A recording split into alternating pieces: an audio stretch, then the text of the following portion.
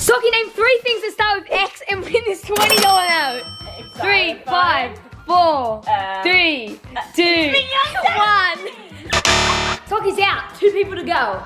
Sabre, name three things that start with E in five, four, three, two, one.